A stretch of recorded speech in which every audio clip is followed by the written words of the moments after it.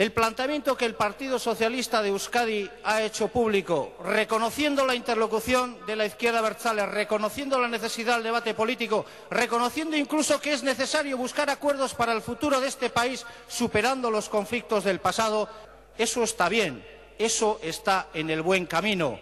Más compromisos con el proceso y menos represión.